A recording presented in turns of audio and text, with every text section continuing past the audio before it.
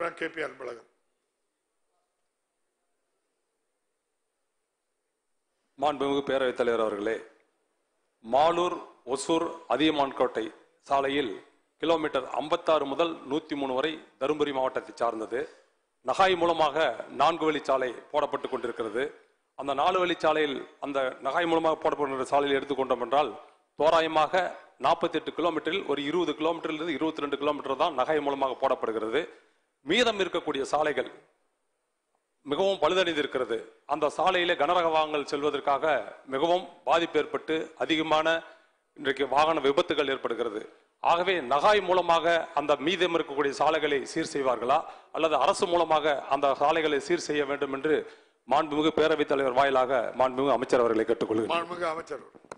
மாண்புமிகு பேரவைத் தலைவர்களே மாண்புமிகு உறுப்பினர் கேட்டு அன்பழகன் அவர்கள் குறிப்பிடுகிற சாலை என்பது தருமபுரியிலிருந்து பெங்களூருக்கு போக வேண்டும் என்று சொன்னால் அந்த சாலை வழியாக போனாக்க ஒரு குறுகிய தூரத்திலே அங்கே போக முடியும் என்ற சாலை தான் அந்த சாலை. அவர் குறிப்பிட்டதை போல அந்த நகாய் மூலமாக அங்கே பணிகள் நடைபெற்றுக் கொண்டிருக்கிறது. எஞ்சியிருக்கிற பணிகள் நடைபெற வேண்டும் என்று சொன்னால் விரிவுபடுத்த வேண்டும் என்று சொன்னால் நிலையெடுப்பு தேவை என்பது ஏற்கனவே என்னிடத்தில் சொல்லியிருக்கிறார்கள். இருந்தாலும் அதை விரிவுபடுத்த வேண்டும் என்பதற்காக சம்பந்தப்பட்ட அதனுடைய தலைமை பொறியாளர் பாலமுருகன் இடத்தில் நான் ஒரு நாள் பேசி அது அந்த சாலை கட்டாயம் செய்யப்பட வேண்டும். என்று சொன்னால் அது ஒரு முக்கியமான சாலை என்று நானே சொல்லி அதை எப்படி அமைப்பது எந்த அளவுக்கு அமைப்பது என்றதெல்லாம் நீங்கள் குறிப்பெடுத்துக் கொண்டு அதற்கு ஒரு டிபிஆர் ஒரு டீட்டெயில் ப்ராஜெக்ட் ரிப்போர்ட் ஒன்றை தயார் செய்ய வேண்டும் என்று நான் சொல்லியிருக்கிறேன்.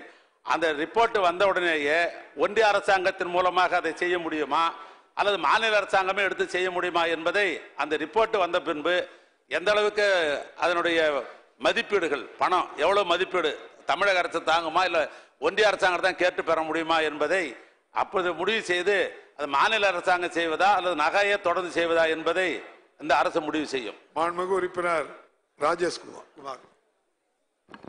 மாண்புமிகு பேரவைத் தலைவர் அவர்களே இதே தெய்வம் புரட்சி தலைவி அம்மா தமிழகத்தினுடைய முன்னாள் முதலமைச்சர்கள் அண்ணன் எடப்பாடியார் அண்ணன் ஓபிஎஸ் தருமபுரி மாவட்ட கழக செயலாளராக இருபதாம் ஆண்டில் அடியெடுத்து வைக்கும் என்னுடைய பாலக்கோடு சட்டப்பேரவை உறுப்பினர் அண்ணன் அவர்களை வணங்கி அரூர் சட்டமன்ற தொகுதிக்கு உட்பட்ட கம்பையனூர் பேரூராட்சியில் பதினஞ்சு வார்டுகள் இருக்கின்றது. அந்த பதினஞ்சு வார்டுகளில் பதினாலாயிரத்தி ஐநூறுக்கு மேற்பட்ட பொதுமக்கள் வாழ்ந்து வருகிறார்கள். நாலாயிரத்தி ஐநூறுக்கு மேற்பட்ட வீடுகளில் குடும்பங்கள் இரண்டு ஒரே வீட்டில் இரண்டு குடும்பங்கள் வசித்து வருகிறார்கள் வாழ்ந்து வருகிறார்கள். அங்கே அரசுக்கு சொந்தமான வெதர்மட்டி பாமாண்டப்பட்டி என்ற ஊரில் அரசுக்கு சொந்தமான சர்வே நம்பர் தொண்ணூத்தி ஒன்னில் ஐம்பது ஏக்கர் நிலம் இருக்கிறது. ஆகவே மாண்புமிகு அமைச்சர் அவர்கள் மறுபரிசீலனை செய்து அங்கே அடுக்குமாடி குடியிருப்பு கட்டித்தர வருவார்களா என்று தாங்கள் வாயிலாக அறிய விரும்புகின்றேன். மாண்புமிகு அமைச்சர் அவர்கள். பேரவைத் தலைவர் அவர்களே வீட்டு வசதி வாரியத்திற்கு சொந்தமான இடம் இருந்தால் அங்கே இருக்கிற அவசியத்தை பொறுத்து அங்கே ஆய்வு செய்து உடனடியாக பணியை நாம் துவக்க முடியும். அரசாங்கத்திற்கு சொந்தமான இடம் என்று சொல்லுகிற பொழுது அரசாங்கம் மற்ற பணிகளுக்காக அதை வைத்திருக்கிறதா? இதைவிட மிக முக்கியமான பணிகளுக்காக அது வைக்க வைக்கப்பட்டிருக்கலாம்.